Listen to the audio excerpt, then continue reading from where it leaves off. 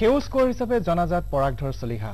চাৰি হাজাৰ বছৰৰ অসমৰ স্ৰষ্টা আধুনিক অসমৰ নিৰ্মাতা দেশাত্মবোধ আৰু ভাৰতীয় চেতনাৰে উদ্বুদ্ধ সেউজ কোঁৱৰ পৰাগধৰ চলিহাৰ নৱম মৃত্যুবাৰ্ষিকী শনিবাৰে শিৱসাগৰৰ নাট্য মন্দিৰত বৰ্ণাঢ্য কাৰ্যসূচীৰে পালন কৰা হয়। অনুষ্ঠানৰ লগত সংগতি ৰাখি উক্ত দিনা সেউজ কোঁৱৰৰ ওপৰত বক্তৃতা প্ৰতিযোগিতাৰ লগতে তেওঁৰ দ্বাৰা ৰচিত আৰু সুৰাৰোপিত গীতৰ প্ৰতিযোগিতাৰো আয়োজন কৰা হৈছিল। শিৱসাগৰৰ পৰা এই সন্দৰ্ভত অতনু বৰাৰ এক ৰিপৰ্ট।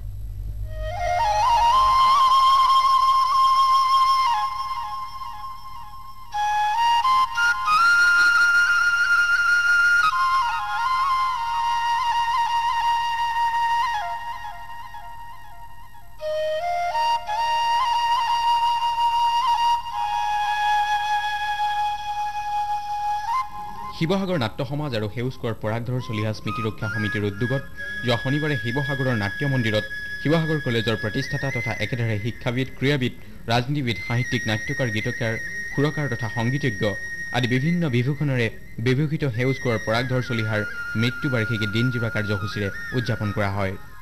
পুৱা সেউজ কোঁৱৰৰ দুগৰাকী সহযোগী প্ৰবীণ মুক্তিযোদ্ধা আনন্দ সাগৰ দাস আৰু পতিত পৱন দাসে সেউজ কোঁৱৰক শ্ৰদ্ধাঞ্জলি জনাই অনুষ্ঠানৰ শুভাৰম্ভ কৰে। এই অনুষ্ঠানৰ লগত সংগতি ৰাখি সেইদিনা সেউজ কোঁৱৰৰ ওপৰত বক্তৃতা প্ৰতিযোগিতাৰ লগতে তেওঁৰ দ্বাৰা ৰচিত নাট আৰু সুৰাৰোপিত গীতৰ ওপৰত প্ৰতিযোগিতাৰো আয়োজন কৰা হয়। উল্লেখযোগ্য যে শিৱসাগৰ নাট্য সমাজৰ বয়োজ্যেষ্ঠ সদস্যসকলে সেউজ কোঁৱৰৰ দ্বাৰা ৰচিত এটি সমবেত গীত পৰিৱেশন কৰি নাট্য মন্দিৰ প্ৰাংগণ মুখৰিত কৰি তোলে।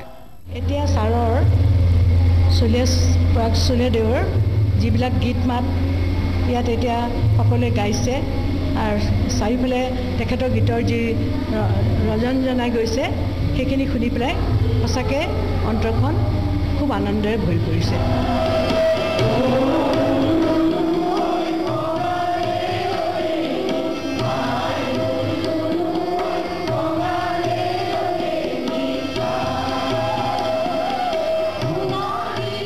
শিৱসাগৰৰ ঐতিহ্যমণ্ডিত সেউজীয়া সমাজ সংগীত বিদ্যালয়ৰ জন্মদাতা সাতভনী বিহুৰ উদ্ভাৱক তথা লোহিত্য সংস্কৃতিৰ গৱেষক পৰাগধৰ চলিহাৰ অনুপম সৃষ্টি জাপি নৃত্য উক্ত সাংস্কৃতিক সন্ধিয়াত শিৱসাগৰৰ শিল্পীসকলে পৰিৱেশন কৰি উপস্থিত ৰাইজক আপ্লুত কৰে।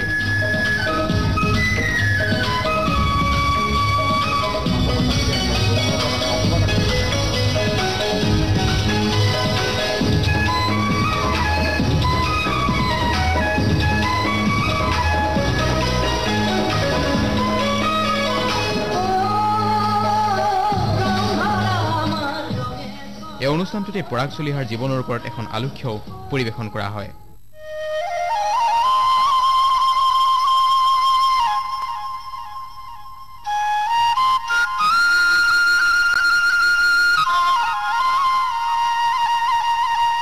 কেমেৰা পাৰ্চন লুইত চলিহাৰ সৈতে অতনু বৰা নিউজ লাইভ শিৱসাগৰ।